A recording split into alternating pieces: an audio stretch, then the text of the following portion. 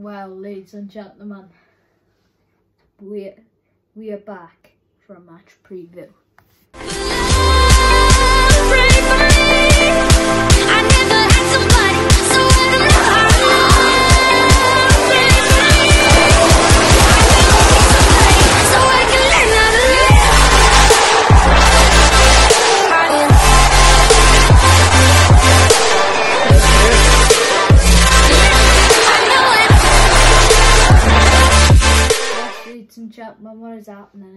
Yes, CFC Vlogs here, back again for another video today. Well, it's been a while since I've done this to uh, buns. Um, match previews are returning. Um, obviously, I mentioned in my championship score predictions video yesterday um, that I was going to be uh, doing this match preview and here I am uh, actually recording a match preview again. It feels weird. Um, feels weird that uh, I'm doing these because uh, it's been a while. Um, it's been a while. If you want me to continue with them, you gotta hit that like button and subscribe as well, just so I know that you're loving the match previews as well. So, um, thank you to Reese for convincing me to uh, do this match preview. Uh, really put me on the spot there. uh, but I wanted to uh, I, I wanted to do this video because it, it, just felt right, you know. But it's not beside the video. It's the fixtures coming on Sunday. It's Swansea City versus Cardiff City at the Liberty Stadium. Oh my god, this has been ages uh, coming. But uh, if you want to see more videos, make sure you leave a like, subscribe, turn on post notifications. Really appreciate all your support. Uh, 500 subscribers now. Thank you again, uh, once again. But anyway, guys, let's get into the video. Starting off my match preview and my score prediction. I may have touched this on briefly. Um, I'm I'm gonna go on a bit of an explanation here. Right. Swansea City Football Club, as I really touched on in my championship score predictions, as Reese mentioned as well. I want to see passion. I want to see desire. I want to see really good football. I want to see entertaining football on Sunday. If we are not going to be living up to the task, then I can't see us winning. Um, I'm. It's, re- it's ne- really nerve wracking to hear that. Uh, um, it's ne- really nerve wracking to uh, see that uh, we are um, we are actually um, um, we are playing bad, but um, I I believe it all can change. I reckon there is gonna be a few changes made to the side. Um, sorry guys, you may debate on me with this, but I am not a fan of Matt Grimes as captain. I'm not a fan of him as captain. Um, he was really good when he wasn't captain, and to be fair to him, he was probably our best player. But anyways, guys, I hope Matt Grimes, uh, I hope Mike Van der Hoorn comes captain because he's he, he, he urges the team along. Matt Grimes is not that type of person to lead us on. He's not that type of person to. He's not that type of person to keep our team going. I know he's done well in August, but he hasn't done well in the last two months. The manager curse, the ma- ma- manager of the month curse struck us, and it struck us badly. Um. Anyway, I I hope I hope my message comes clear. I don't want to see Dhanda starting 11. I want to see Celina playing the cam role. I want to see Peterson out on the wing again. I want to see urge, desire, fight, courage. It's, it's just... I, I can't I can't stress enough how much I want this club to do well in the South Wales derby. Um, but anyways, my score prediction is 3-1 Swans. I, I you made may debate on me with that one. I'm, you may think I'm being a bit rivalry biased, but I have to back my team. I have to back my team. Uh, even though we've been playing bad, I think we can do it. I think we can bring it back, and I think we will. I think we will. I think we will urge on. So I'm gonna go three one Swans. I'm gonna go with Borja Baston with two goals and Pizza with one. Um, I'm gonna. I just have to say that I, I gotta urge my team on. So yeah, like I touched on a bit there, I don't want to see, I don't want to see, I want to see big changes in this team. Um, and I believe so this will go into the South Wales derby.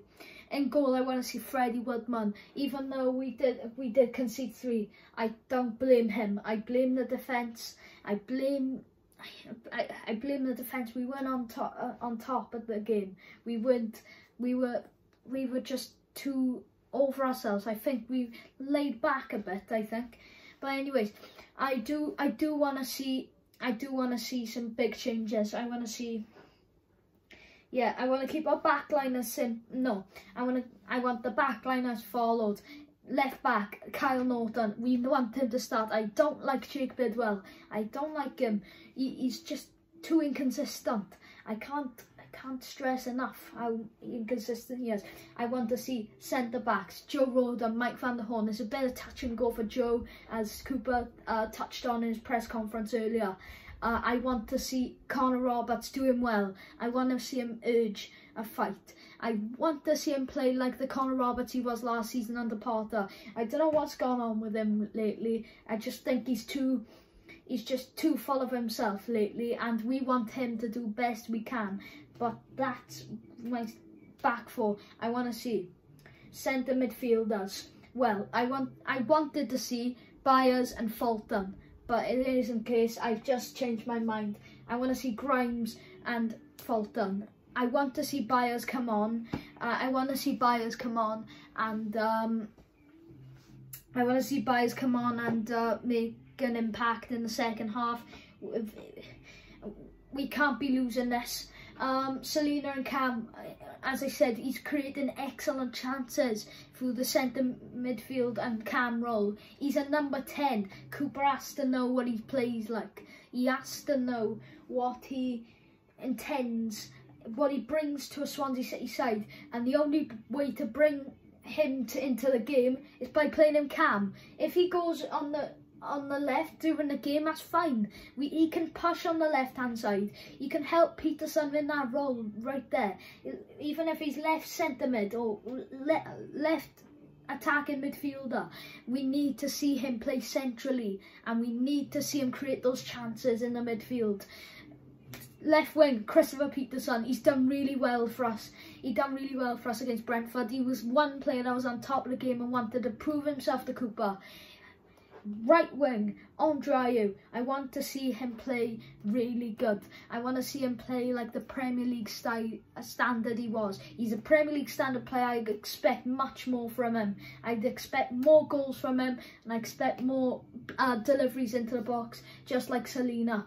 Up top, Borja Baston. He's got to start. Sam Surridge um, changed his profile picture back to uh, Bournemouth uh, profile picture. I don't know why, but uh, yeah.